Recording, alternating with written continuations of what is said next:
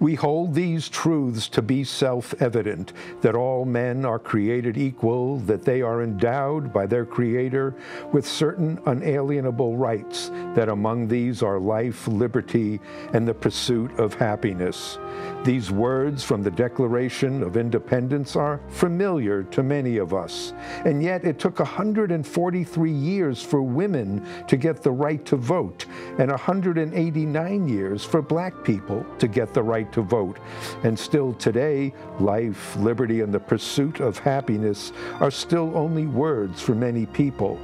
Here in Boston, life expectancy varies by 30 years depending on where you live. In Roxbury, with many poor and black people, life expectancy is 59 years. In the Back Bay, wealthy and mostly white life expectancy is 91 years. It's tough to have liberty when you are in prison. The United States incarcerates 716 people for every 100,000 people. Our rate of incarceration is more than five times higher than most countries in the world. Millions of people in our country don't have health care, a decent job, good education, a home they can afford, and that makes it pretty hard to pursue happiness. So on this show, you are going to meet people who are making it possible to have life, liberty, and the pursuit of happiness. People today who are making the words of the Declaration of Independence come true. Hi, my name is Michael Jacoby Brown, and today we're honored to have with us Stanley Pollack of Teen Empowerment. Hi, Stanley. How are you? I'm good, Michael. How I'm you glad you could come in today. Thanks. Stanley, uh, uh, you've been working for teen empowerment for decades now, but I'd like to start. Can you tell us something about your upbringing, uh, where you came from, where you were born, and where you lived when you were young, and also how you got your values? Sure. Um, well, I was born in Morristown, New Jersey. There's a little monument towards it. but, uh, uh, I grew up in Boonton, New Jersey, and uh, which is a small town, about 9,000 people. Uh, my father owned a restaurant there, Hmm. and it was sort of a breakfast, lunch, and dinner place. So you had the same people kind of come in there uh, every week. So I got to know all kinds of different people. And that was um, that was very important. That I had I got to know people who were doing very well, had a lot of money, uh, which there were there was a kind of an upper class in the town, and then there was uh, working class and poor people in the town, and people of color, a small uh, community of, of people of color in that uh, town as well. People did live very separately uh, there, but because I was in my father's restaurant and I actually ate with different people every night of the week. I got to know people across those barriers, and I think that was a pretty fundamental experience for me in terms of uh, kind of orienting me to the differences in the world and also some of the inequities in the world as well. And um, so I think that was a very uh, important experience in kind of uh, giving me a framework for my life. And can you say a little bit more about the values? I know you told me before uh, about the values your dad and mom, who worked in, as you called it, the store, the restaurant. What are the kind of things they did that influenced you? Yeah, um, that was a very important. Though, you know, I think for everybody, your parents are, you know, your first models of how to how to live. And my father um, worked very hard, uh, you know, 16-hour days, uh, and uh, he um, connected with people across those barriers. Uh, he took care of some of the folks in, in town, you know, sort of kept their money for them and that, that sort of thing. Yeah, Uh, wow. and my father uh, had a very um, egalitarian uh, approach to life. And that was important for me to see. My mother, on the other hand, had a lot of prejudices. And uh, she expressed those prejudices. Really, uh, you could call it prejudice, you could call it fear, but she bought into a lot of the, the stereotypes. And uh, so I had those two kind of opposing images, really, in a way. And uh, uh, I, um, I learned from both of them, really. Uh, I, I felt that, you know, uh, my mother's approach to life was limiting and unfair. Um, and uh, that, so I was more drawn to my father's kind of ap- approach to it. But both of those were important in terms of understanding how society works and how society does not work. hmm And when you started working as a young adult, I know you said you started working first with teens. Can you tell us a little bit about that and how that happened? What attracted you about teens? Yeah. Um, well, as like we were talking earlier, I needed a job. Yeah, you know, right. I needed to survive. So that, club, that was right, in there. right. And, and this was in 19, uh, I graduated from college in 1971. Mm-hmm. And the economy was very, very flat. There, wa- there wasn't a lot of opportunity. And there was a lot of political activism. And I Mm-hmm. really could not see myself going into kind of corporate life, uh, you know, that sort of thing. Mm-hmm. And, uh, uh, and the idea of working with teenagers just seemed like the right direction Mm-hmm. to go to and go in. And the thing that attracted me about, and still does attract me about working with teenagers, is that they're forming. They're not totally formed. Adults tend to Mm-hmm. Be kind of solidified in their attitudes Hmm. Uh, and what they, they, feel about things. Their opinions are kind of fixed. Where young people can kind of turn on a dime and be going in one direction and going and then go in another. Hmm. And that, that excited me, that kind of fluidity, that kind of openness, uh, that kind of excitement about, you know, really engaging in, in, in life and, and seeing hope, you know, of, of, of making kinds of change. Maybe that gets disappointed at some point along, along the line. But it, it was that energy um, that really attracted me to, to working with teenagers. The opportunity that I got was to work in uh, delinquent homes, which is what they called them back then. Right. Uh, now they call them treatment centers, I believe. Um, and uh, so I, I had the opportunity to work in those homes. And, and, and, and that was very affirming for me in terms of uh, my abilities to connect with young people was uh, the most uh, kind of apparent skill that I had. So that was one end of it. And the other end of it was the oppression of the administrations that ran those facilities. So, um, you know, I had a lot of experiences where I was very successful working with young people and not so successful working with administrations and kind of battling those administrations to, to view their young people as um, people that had something to offer.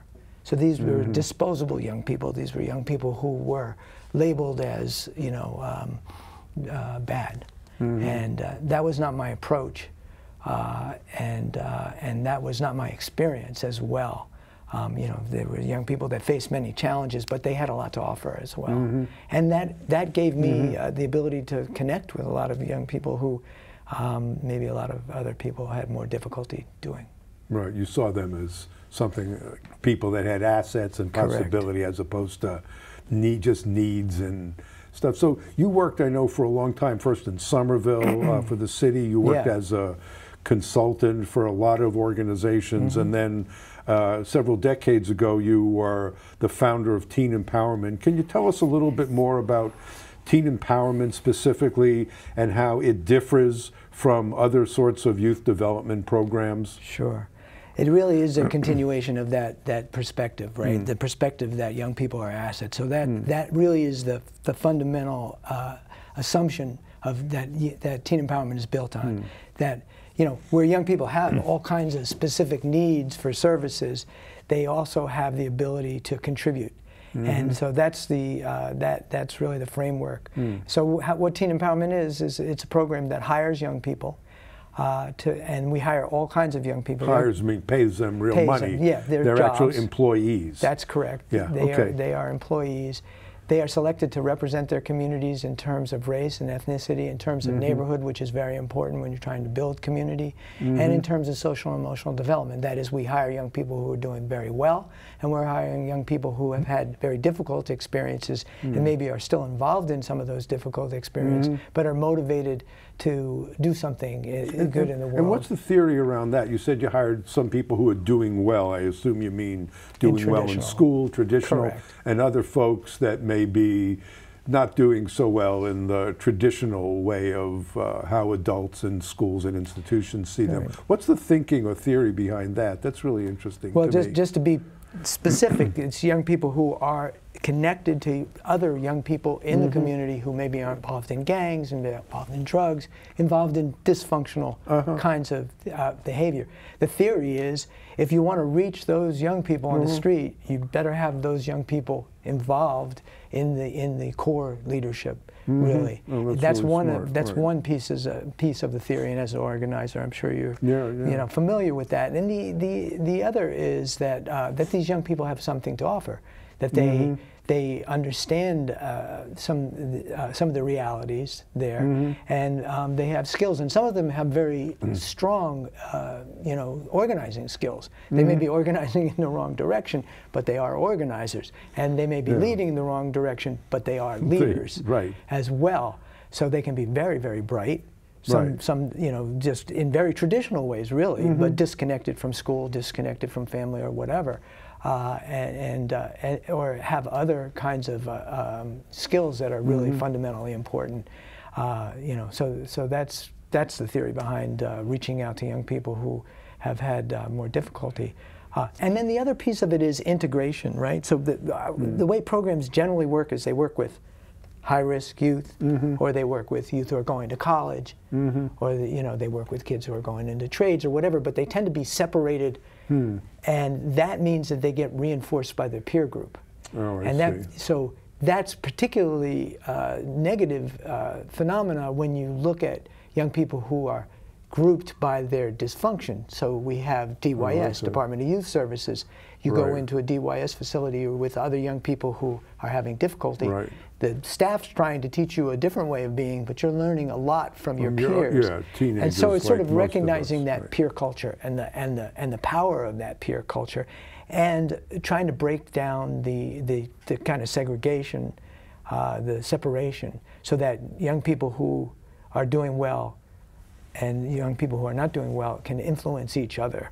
So you um, hire uh, a group of them, some doing well in the traditional sense. Yeah, correct. And how big is that group every year or semester? Yeah, we, how does it work? Well, we have sites. We have two sites in Boston. We have a site in Somerville, Massachusetts. Right. We have a site in Rochester, New York. Mm-hmm. We're about to have a second site in Rochester, New York, as well.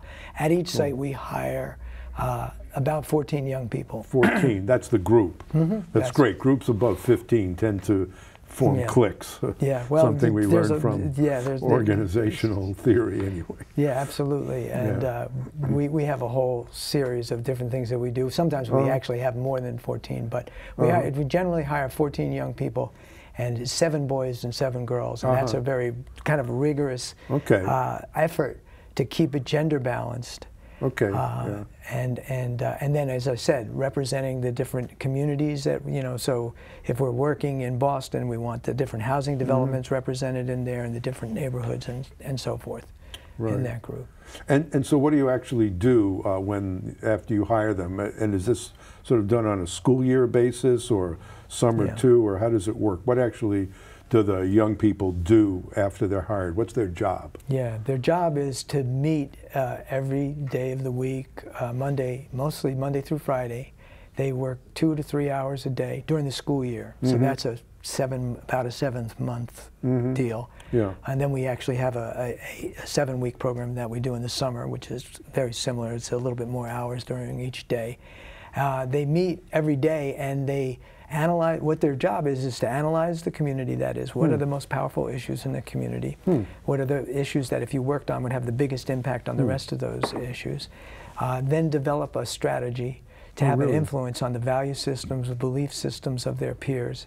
Implement that strategy with the goal of uh, trying to uh, change the patterns of behavior in that community uh, and, and have young people take on you know, a more positive value system and decrease negative uh, outcomes for young people in that community. Right. So, and these are mostly communities of color in Boston, or at least, or not well, entirely. Actually, you tell actually, me. Actually, it, it's it, we tend to work in in communities of color. That's uh-huh. where we are right now. But uh, in Somerville is a very mixed community, mm-hmm. so you have a, a, mix of kids of color and, yeah. and, and, those uh, Caucasian uh, kids as well. You know, yeah, so there are a lot of. I wonder if you have some reflections, you as a white man going into Boston, into mostly communities of color. I wonder if you have any reflections, uh, as you said once to me, uh, who gets to start these programs? And, mm-hmm, uh, mm-hmm. you know, you've been doing this for years and years, decades really. Do you have some reflections or thoughts on how that works, or is it working? What's going on in that whole uh, scene, so to speak? Yeah, well, there's, there's sort of two questions, right? How, how was my experience with that? Yeah. Uh, and, and just to, to answer that question, that's changed over the years. Mm-hmm. You know, um, uh, when I first began in the program in Boston in 1992, 93, Boston was in a bloodbath. There were 180 murders in Boston, uh, and uh, in 19, I think 91, and uh, the, the state around those yeah. areas. That's that's that's like more than triple than what's happening now. And on top of that, the young people who were dying were really young people. They were like 14, 15, 16 years old. That's changed as well. So if you take a look at the numbers, even there's you know 40 or 50, too many, many, too many murders and injuries and so forth. They tend to be a little bit older. So hmm. the, the violence level among young people has decreased. So mm-hmm. all this work, when people talk about the kinds of investments that have been made in Boston, uh, and, and it's many programs, not just teen mm-hmm. empowerment for sure. There's many great programs in there. They really paid it off. Mm-hmm. Uh, and there's more work to be done. It's not that, you know, that's, that's a big fallacy. People, oh, well, we're in great shape now. Let's not do it anymore. That's a huge mistake. But when I began, you know, race was an issue. My race was an issue. But was, much yeah. less of an issue. You're in the middle of a really a bloodbath. And uh, you know the, the things we were doing, running peace conferences, bringing gangs together, having people sit down who, you know, had wars with each other and signed peace treaties. Uh, folks were uh, uh, appreciative of that, and uh, and and that's allowed allowed us to to grow and develop. Um, you know, over the years, uh, there's been a growing awareness uh, of the importance of having people of color leading programs, you know, and of course, teen empowerment's all about that. You know, the staff comes up from the, the program into into staff. Uh, the the staff is comes from the youth. Uh, that's our best, uh, you know, opportunity to get staff. Um, so, and I think the whole issue of, uh, you know, awareness, wokeness, or if you will, around race has grown tremendously in society over these years. So, um, you know, it it it, uh, it is, uh, and, and and I think the frustration of, of people of color as that awareness grows of, you know, the kinds of, you know, the average uh, white family has. Uh, uh, $250,000 or $300,000 of value, uh, you know, uh, savings of one kind in a house or whatever, and, and, and people of color, it's, it's eight dollars. Right, So negative. Yeah, negative. so these, right. these things are these things are, are very very painful, and and they create mm-hmm. resentment and, and anger. And then if you have the kind of national discussion that we're having, which mm-hmm. is outrageous, mm-hmm. you know, the things that the Trump administration does and says, mm-hmm. and, and, and his accolades in, in the Congress and, and mm-hmm. you see on television, you know, the anger that young people feel is, is, is, is palpable mm-hmm. and understandable and gets kind of generalized as well. So it's, it's become more and more important for uh, people of color to, to lead organizations, and uh, that's something that I, I hope I've, I've helped to to spawn in, in my organization. Yeah, well, and certainly yeah, well let's talk about that because I know you've now left a, a while ago as the quote executive director and. Uh, There were no quotes around. of course, you were the executive I was the director. executive Right, right. Uh, thank you for clarifying that. That's really helpful. Um, I know you've left. How long ago was it now? It's been a year that I uh, left the position of uh, executive director and became a, a, a part-time, half-time person. Right. I'd love to talk a little bit about that because transitions from baby boomers, hope you don't mind that expression, like you and me, uh, to younger people is something that's happening across a lot of social justice organizations. And I think it'd be really interesting to hear some about your experience doing that. Not that your experience is going to work for everyone, but uh, what that's been like for you. Yeah. And now that you're uh, well, you're not exactly retired. I don't see you as the retiring type, but you have more time on your hands. Uh, could you explain both a little bit, maybe first about the transition, how that worked, and uh, Sure. and why I think you said it was important to have a person of color become the executive director at this point now because things are different. Yeah. Yeah, well, uh, yeah, absolutely. The, that is that was an important goal of the the process. Um, I mean, we were open to you know all kinds of different people, and we had a completely open process. I actually had nothing to do with the hiring process, or very very little to do with the hiring Good. process. The Yeah. board wanted to do that, and they pretty much did do it. I had some input into it. I obviously met with people and did an interview and so forth. Um, so. Uh, that was there was a lot of conversation about my role going forward, and a lot you know the traditional thought is that the the ED and particularly the founder, uh, that we can put quotes around the founder, Right, uh, yeah. you know, shouldn't be involved, should leave, be gone, you know that sort of thing. Yeah. I felt that that would be a big mistake. Mm-hmm. because teen empowerment is a very complicated program mm. uh, technically to, to run, mm. and uh, and I felt like I still had something to offer and wanted to stay mm. involved with it. Um, and that was something that was agreed upon, but people were concerned about it. Mm-hmm. We hired Abrigal Forrester, who is an African American. I think he's about 50 years old, has tremendous experience working wow. with YouthBuild and right. Uh, you know uh, the Madison Park Development Corporation. Not a kid. Uh, right. Yeah, and and just right. a very talented guy. Uh-huh.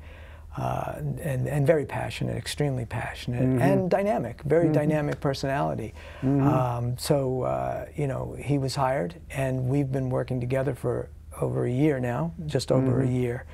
And uh, it's, it's just working out tremendously because, uh, you know, first of all, I don't want to be the ED. Why is that? well, I never actually uh, enjoyed the, that aspect of the program and wasn't that great at it. I mean, I, I, don't mind doing fundraising and talking to people about the program and yeah. that sort of thing and advocating publicly. And so that, that I, I, more or less enjoyed that. I much more enjoyed the opportunity to work with youth, which mm-hmm. was, I probably did a lot more than that than I should have done. Um, but that was really my passion and my main skill set. Terrible at the financial management aspects mm-hmm. of it. I'm not, you know, book bookkeeping and looking at you know financial stuff, my eyes just cross, and somebody right. else needs to do that. You know, so Abrigal is just much better at all of that stuff, and, oh, yeah. and he's mm. he's great at, at public representation, mm. and uh, and as I said, he's very passionate about social change, which is is is really my main uh, you know mm-hmm. interest and uh, and um, priority, you know, as well. So we've, we've uh, he came up with my title, which is a little bit long, which is the, the director of, um, of uh, uh, model fidelity and consulting. So uh-huh. he, he came up with that, uh-huh. that title okay. because he wants the, the program to stay connected to the model. And, that the, and, okay. and so it's my job to, to assist people, to support people as they attempt to do the program and stay in fidelity to, to the model. And right. then I do consulting work with John Hancock and various national organizations and so forth. Uh, so that, that um, opportunity to work closely with, with him, and really mm-hmm. I was mm-hmm. very honored at our fundraiser that we had that, that Abrigal uh, recognized me and said um, that, uh, you know, that he, he saw me as someone who was dedicated to helping people who don't look like myself. Mm-hmm. And um, I was honored to be recognized for that. Right, and yet you said you thought it was important at this time to have a person of color leading the organization. Could you talk a little bit more about why that's important, why you think it's important now? Well, I think it's I think it's always important. It was always important. Mm-hmm. I mean, on, on a very basic level, right? Mm-hmm. How people operate, how they connect, mm-hmm. you know, their relationships are based on their background mm-hmm. and their culture. Mm-hmm. And so they're more, more comfortable with that, mm-hmm. you know. And there's some ways in which, you know, uh, I was, I mean, I did not grow up in Boston. I right. understood poverty to a degree. Mm-hmm. I understood racism to a degree. Right. I didn't live it. Right, that's different. Know? Right. And it is different. and and uh, so that is important. And just, you know, how how decisions are made and who's going to, you know, you know, in terms of you know trying to develop a national model, which is what teen empowerment is, mm-hmm. uh, it's, it, it, was very difficult because, and we kind of discussed this, a lot of the national models, the folks who begin those models come from uh, backgrounds that give them a lot of privilege, mm-hmm. that gave them a lot of resources and a lot of access to, to decision makers. That doesn't mean their programs are not good, their programs are great but they had that opportunity to get the visibility and the support they need being white mm-hmm. and connected. Mm-hmm.